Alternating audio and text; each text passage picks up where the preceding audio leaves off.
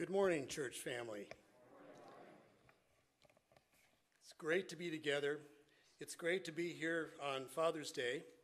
I'm blessed, of course, I always have my wife with me, but I also have my beautiful daughter with me. And we also have with us a very close friend of ours, uh, Tammy Underwood. She's been friends with Dana for years, and we've drawn very close to her family. And if you're here for the first time, um, we want you to know that you're welcome here. We want you to know that uh, we appreciate your presence here today. Um, but I want to extend a happy Father's Day to all of our dads, or all of our granddads, all of our great granddads. Um, it, it's uh, do we have any great grandfathers here? Any great grandfathers? No, we have a. We've got some. There we go. Three generations dads there. That's awesome. Well, inside your bulletin, you're going to find, as we always do every week, Chad produces one of these, and every time I, I speak, I also like to have a study sheet there, something for you to fill out, something for you to take home with you, something to look back on later regarding uh, our lesson. Today being Father's Day, I'm especially mindful of my dad. I have got some really great memories of my dad, and I miss him deeply. He went home to be with the Lord about six and a half years ago. He was a wonderful and godly father.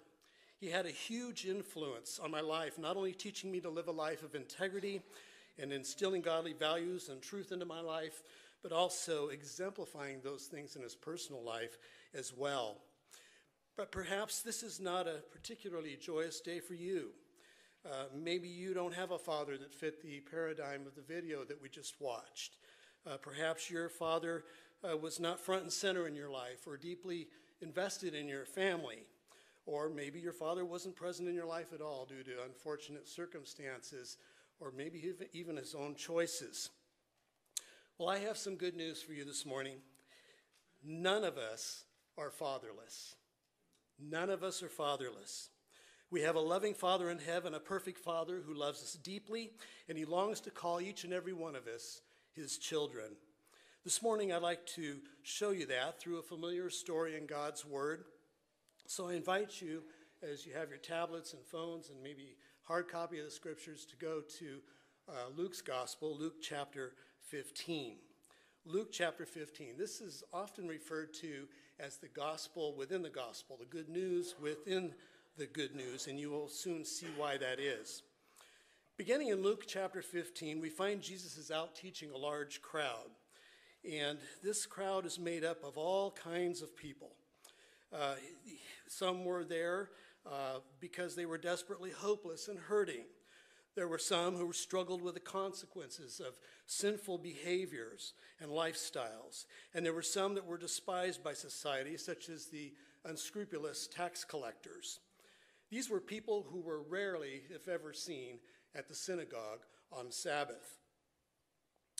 Well, Jesus is teaching and everybody's listening, and off standing to the side are those who are devoutly religious.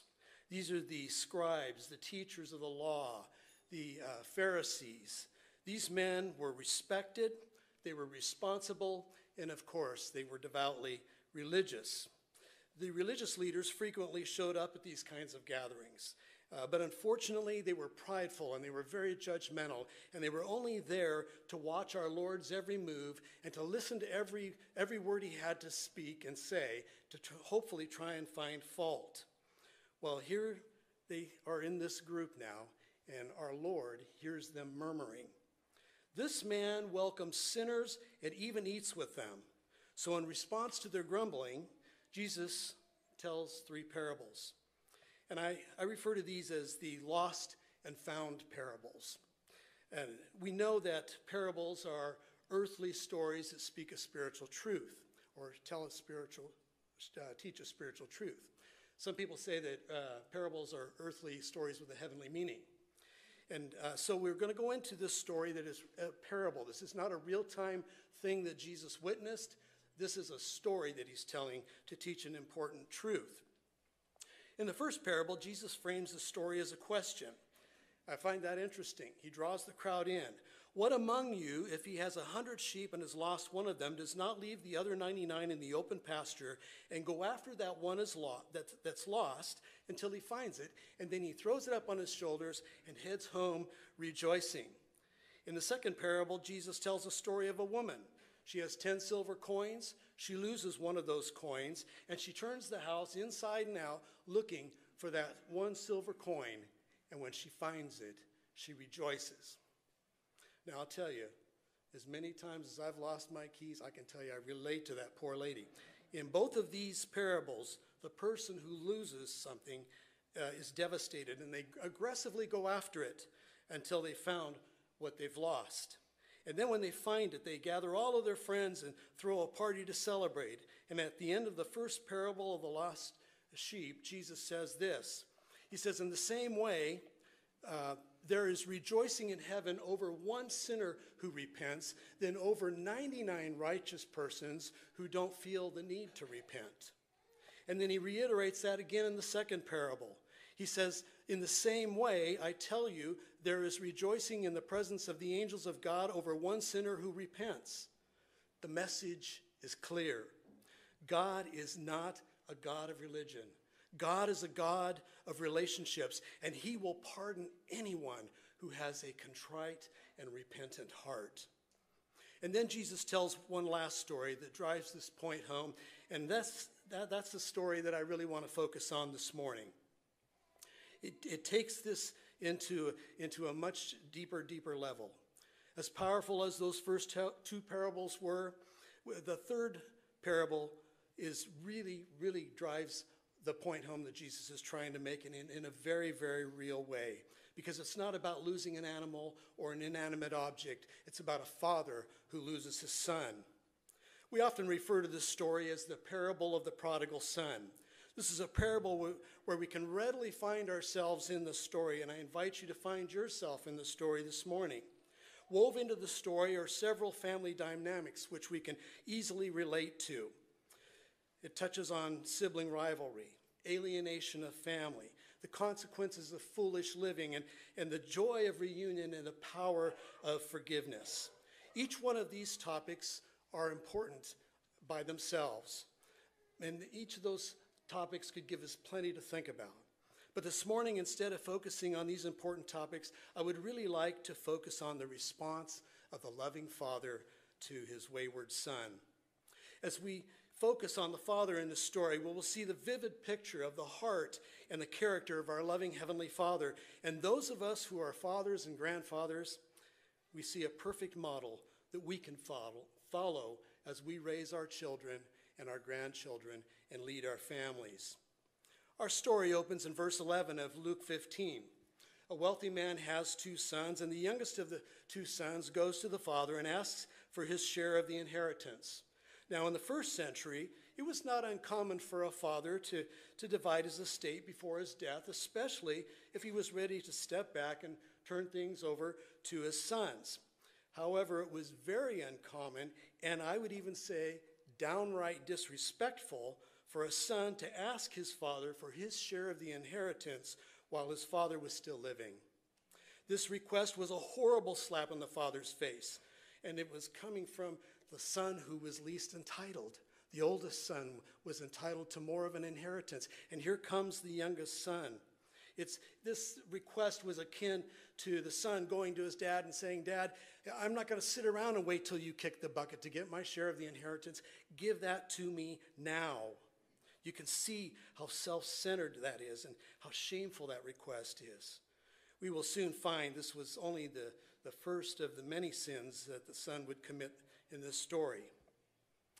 But before we start examining the sins of the prodigal son, we have to approach this story and pause, facing an unfortunate reality about ourselves. We are all prone to making wrong choices and mistakes. So, just like the wayward son, we think prodigal thoughts, we speak prodigal words, and we act out in prodigal ways. In other words, we all have a sinful nature, and from time to time, even if we've surrendered our lives to Christ, that sinful nature still rears its ugly head. The Apostle Paul describes it this way I've discovered this principle of life that when I want to do what is right, I inevitably do what is wrong. I love God's law with all my heart, but there's another power within me that is at war with my mind. This power makes me a slave to the sin that is still within me. Oh, what a miserable person I am. Who will free me from this life that is dominated by sin and death? Thank God, the answer is in Jesus Christ our Lord. So you see how it is in my mind, I really want to obey God's law, but because of my sinful nature, I am a slave to sin. The battle is raging within each of us. The battle is real, and the struggle is daily. There's a constant tension that's going on in our hearts and our minds all the time. It's a tension between righteousness and evil, between right and wrong, and between holiness and unholiness. But praise God, we have a loving Father who understands the enemy and has equipped us for that spiritual battle. And through the power of His Spirit and the truth of His Word, we can live victoriously. Well, going back to the parable now, let's take a look at how the Father responds to the, to the Son's dishonoring request.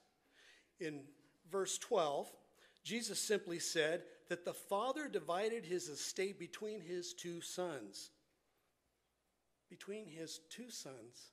Did you catch that? Not only did the father give the younger son his share of the estate, but he gave the older son his share as well. What a beautiful picture of the great generosity of our God. Just like the loving father in this story, our loving father gives freely. That's the first number one point there on your outline. You could also include the words abundantly or sacrificially. Our loving Father gives abundantly. Our loving Father gives sacrificially. Our loving Father gives freely. Look at what the apostle Paul says in 2 Corinthians chapter 9. He says, And God is able to bless you abundantly, so that in all things, at all times, having all that you need, you will abound in every good work. God, our loving Father, gives us life and breath and shelter and food to eat.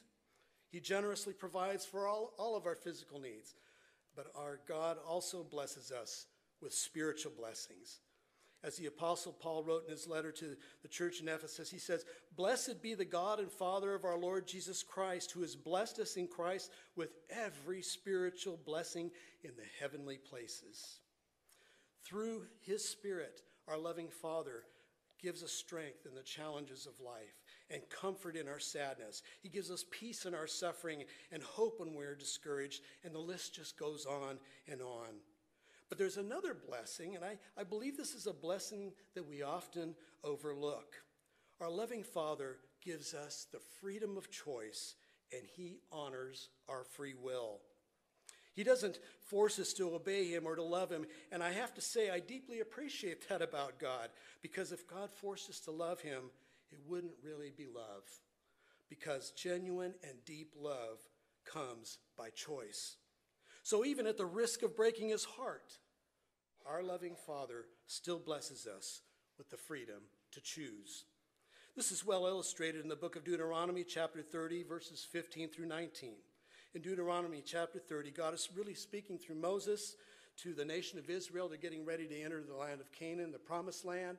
And here's what he says See, I set before you today life and prosperity, death and destruction.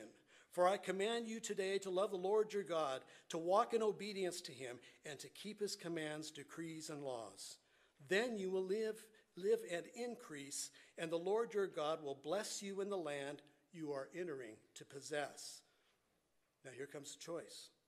But if your heart turns away and you are not obedient, and if you are drawn away to bow down to other gods and worship them, I declare to you this day that you will certainly be destroyed. You will not live long in the land you are crossing the Jordan to enter and possess. This day I call the heavens and the earth as witnesses against you, that I have set before you life and death, blessings and curses. Now choose life so that you and your children may live. Well, now let's take a look into the parable now and see what kind of choices did the younger son make with his inheritance. Jesus says in verse 13, not long after receiving his inheritance, the younger son got together all that he had and he set off for a distant country and there squandered his wealth in uh, wild living. At first, the wayward son's new life probably seemed amazing. He gets far away from home as far as he possibly can, and he quickly finds some like minded friends who just want to party and have a great time. He pampers himself with the, the finest of food and wine, and he indulges himself in women. The freedom is intoxicating, both literally and figuratively. I'm sure the young man's friends all thought, oh boy, this guy's really living the life. But all the while, day by day, he was dying the death that sin and reckless living bring about. Well, things got worse. His money completely ran out, and all of the so called friends disappeared. And then a famine strikes the land. Now, for the first time in his entire life, the young man is starting to feel impoverished. He has no idea where he's going to, where he's going to live or even how he's going to eat. So he, he tries to find a job and he looks around and he finally gets a job working for a man who has pigs. And guess what? The man sends him out to the field to feed the pigs. Do you realize just how demoralizing that job would be? I wouldn't want that job. But for this young Jewish man, this young Jewish man, it was even worse. He was working for a Gentile to begin with, a non Jewish uh, person, and his job was feeding pigs. These were animals that the Hebrew law said were unclean and shouldn't be touched. Definitely, this was not what this young man had in mind when he went out his father's door to take on the world. No one cared. He had no connections, no more friends, no more status. All of it was gone, and it's as if he didn't exist. And that emptiness in his stomach reminded him of the emptiness of his life. Meanwhile, back at home, his loving and faithful father waited and watched patiently for his son to return home. This is a perfect example and portrait of how our loving father watches and waits patiently for us. That's the second point on your outline. No matter how far we, we are from God or how bad we have fallen away, our loving Father never gives up on us. And because He loves us, He believes the best in us rather than the worst. He never quits hoping, and He patiently waits for us to repent and to surrender our lives to Him in loving obedience. Listen to what the Apostle Peter says in 2 Peter 3, verses 8 and 9. But do not forget this one thing, dear friends. With the Lord, a day is like a thousand years, and a thousand years are like a day. The Lord is not slow in keeping his promises. Some understand slowness. Instead, he's patient with you, not wanting anyone to perish, but everyone to come to repentance. And then you go further down in that chapter, verse 15, Peter says, Bear in mind that our Lord's patience means salvation, just as our dear brother Paul also wrote you with the wisdom that God gave him. When we become followers of Christ, our life tells a story of divine patience. God was patient with us as we were lost in our sins, ignoring his son, placing our will over his, and scarcely giving him or the salvation he offers even so much as a passing thought. And he's patient with us now as we daily need his forgiveness. And our loving Father will be patient with us tomorrow and the next day and the day after that until our Lord returns. While the father was patiently at home, watching and waiting, his wayward son had sunk into complete hopelessness and despair. He was dirty, he was exhausted, and he was hungry. His clothes were reduced to rags, and the, the pores of his skin were filled with the stench of the pig pen. The reality of his sin struck hard. He began evaluating his life, which, by the way, is the first step to repentance. He began evaluating his life. And he thought about his life, the, the, the life that he had at home back with his dad, in the comforts of that home and, and the love that was present in that home. And it says in verse 17 of Luke uh, 15, this is when he came to his senses, he said, How many of my father's hired servants have food to spare? And here I am starving to death. I will set out and go back to my father and say to him, Father, I have sinned against heaven and against you. I am no longer worthy to be called your son. Make me like one of your hired servants. That's what he rehearsed in his heart. So he got up and he went to his father. All the while, the father continued to watch and wait. Then one day, the father's hopes were turned to joy. The father looked out across the horizon and he could see a little tiny silhouette of his wayward son coming home. At the end of verse 20, we read, But while he was still a long way off, the, his father saw him and was filled with compassion for him. And he ran to his son, threw his arms around him, and kissed him. The son said to him, Father, I've sinned against heaven and against you. I'm no longer worthy to be called your son. In his deep compassion, the father ran to the son and hugged him and kissed him. It was, it was an embrace filled with grace, and it was a kiss of mercy. In that very moment, the son knew he was fully forgiven. What an awesome scene. What a glimpse into the heart of God, our loving Father. Through the Father's response to the Son, Jesus shows us that, third point now, our loving Father forgives fully. The Apostle John writes these familiar words If we confess our, our sins, he is faithful and just and will forgive us our sins and purify us from all unrighteousness. And you know what Chad says about the word all? All means all. There's not a single sin that, that if we will confess that before God, that he will not forgive. There's not a single one. And then we find this in Psalms 103. I'm sorry, uh, Isaiah, Isaiah 55. Seek the Lord while you can find him. Call on him now while he's near.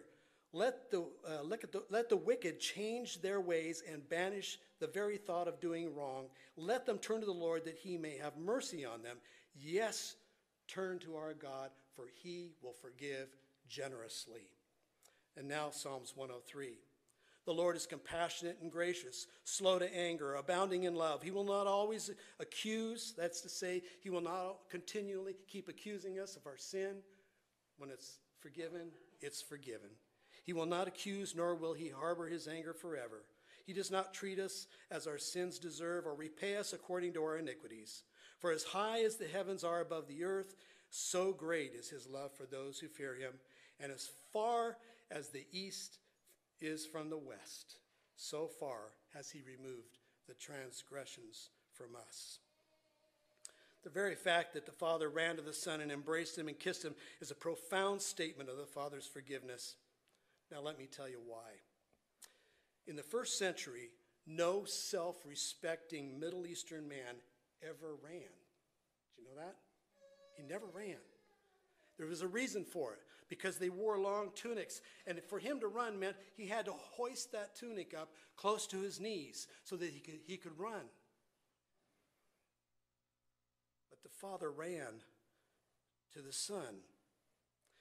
You see, if he hoisted his tunic up, his bare legs would show, and that was considered a disgrace. So here's a lesson, or not a lesson, but a question for you. If it was shameful for a man to run in that culture, why did the father run when his son returned to him? What would compel the father to shame himself? Before we answer that question, we have to understand an important first century Jewish custom. If a Jewish son lost or squandered his inheritance among Gentiles and then wanted to return home, the community would perform a ceremony called a kezazah. The community would gather and they would have the son brought to the town square, and then they would break a large pot in front of him, and in unison, they would yell out, You are now cut off from uh, your people. They would all shout that in unison. And from that day forward, the entire community would totally reject him. So now back to our question Why did the father run, knowing that was such a shameful thing to do? He was willing to, to take on some shame. Well, when you look at that, it, it really just comes clear.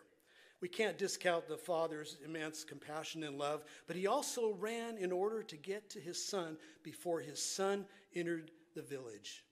The father runs and shames himself and runs as fast as he can in an effort to get to his son so that his son would not have to experience the shame, the rejection, and the humiliation of the taunting villagers. After the emotional reuniting of the prodigal son with his father, it would be clear that there, there would be no kezazah ceremony. There would be no rejecting of his son, despite what his son had done. The son had repented and returned to the father. The father had taken the full shame upon himself that should have fallen upon his son and had clearly shown to the entire community that his son was forgiven and welcome home. In this parable we're looking at this morning, this morning, only the father could restore the son to full sonship in the family. In the same way, we are sinners, and there's absolutely nothing we can do within ourselves to restore our lost relationship with our loving Father. He calls us and patiently watches and waits, and all we have to do is just take one single repentant step in His direction, and because of His compassion and love, He'll come running, and He'll come running to welcome us home. We do not have to fear going home to our Father and confessing our sins, no matter what we've done or how many times we've done it. He lifts off that weight of guilt that we carry because of our mistakes and our sin. He lifts it, and then He's willing to, to wipe that slate clean. Why does He do that? Now, here's your fourth and final point on the outline. Our loving Father loves us lavishly. Look now at verses 21 through 24. See how this unfolds. The son said to him, Father, I've sinned against heaven and against you. I am no longer worthy to be called your son. But the father sent, said to his servants, he turned to his servants and he says, Quick, bring the best robe and put it on him. Put a ring on his finger and sandals on his feet. Bring the fattened calf and kill it.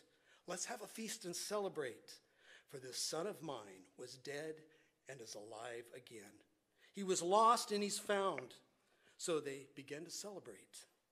The son had barely poured his confession out of his mouth. In fact, if you recall, he, there was a second part of that confession where he was willing to be one of his father's servants. But he didn't even get that out of his mouth before the father called the servants to get the robe, the best robe, and put it on him. The best robe was a special robe that was kept in the house. And usually, wealthier families were more inclined to have this. And it was, it was oh, the, only the father could wear this special robe, and it was only for the most special of occasions. But it was also uh, a robe that was uh, brought out for digni- dignitaries and special guests if they were visiting the home or coming for dinner. So he's calling for that special robe. And the father had the servants bring the ring and some sandals, and the symbolism in that is also huge. The ring would likely be a signet ring that bore the family crest. It would identify the son in a very visible way to the family and the community. But what about the sandals? Sandals were only worn by family members, not the servants, not the slaves. So placing sandals on the son's feet would restore him as a member of the family rather than as a slave. The father in this parable pulled out all the stops and he lavished his love on his son in the same way that our father lavishes his love on us. In 1 John 3 1, we find this See what great love the Father has lavished on us, that we should be called children of God.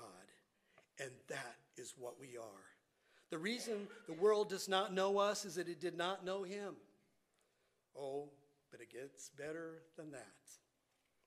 In the last few verses of the scripture text that Phil read to us this morning, I'm going to begin in Galatians 4, beginning in verse 4. But when the right time came, God sent his son, born of a woman, subject to the law. God sent him to buy freedom for us who were slaves to the law, so that he could adopt us as his very own children. And because we are his children, God has sent the Spirit of his Son into our hearts, prompting us to call out, Abba, Father. That was an endearing name that Hebrew children would call their, their father. We, we, he, the Spirit prompts us to call out, Abba, Father. Now you are no longer a slave, but God's own child. And since you are his child, God has made you his heir. Our loving Father loves us so lavishly that when our lives are found in Jesus Christ, He calls us His children. So there's a question here Are you one of God's children? Have you surrendered your life to Christ? And as His children, He has made us heirs of promises and heirs of an eternal inheritance that is kept in heaven for us. He not only lavishes His love upon us now, but He lavishes His love on us for all eternity. This reminds me of an awesome song that plays on my Pandora music station periodically. It's sung by country singer George Strait. The song is titled A Love Without End. Every time I hear this song, my mind is, goes right back to Luke 15. And I'm also reminded of the wonderful, lavish love of our Heavenly Father. Listen to these lyrics. I, get, I got sent home from school one day with a shiner on my eye. Fighting was against the rules, and it didn't matter why. When Dad got home, I told the story just like I'd rehearsed, and then stood there on my trembling knees and waited for the worst. He said, Let me tell you a secret about a father's love, a secret that my daddy said was just between us. He said, Daddies don't just love their children every now and then, it's a love without end. Amen. It's a love without end. Amen. When I became a father in the spring of 81, there was no doubt that stubborn boy was just like my father's son. And when I thought my patience had been tested to the end, I took my daddy's secret and I passed it on to him. I said, I said, let me tell you a, a secret about a father's love, a secret that my daddy said was just between us. He said, Daddies don't just love their children every now and then. It's a love without end. Amen. It's a love without end. Amen. Last night I dreamed I had died and stood outside those pearly gates. And suddenly I realized there must be some mistake. If they know half the things I've done, they'll never let me in. And a voice spoke to me from the other side, and I heard those words again. He said, Let me tell you a secret about a father's love, a secret that my daddy said was just between us. He said, Daddies don't just love their children every now and then. It's a love without end. Amen. It's a love without end. Amen. Our loving Father loves us so lavishly. He loves us lavishly and He calls us to be His children, and we can be a child of His.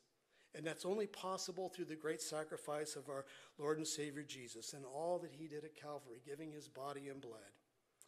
But we see over and over and over again in this story how deeply God loves us and he lavishes his love on us. And it's a love without end. Amen. Will you bow with me?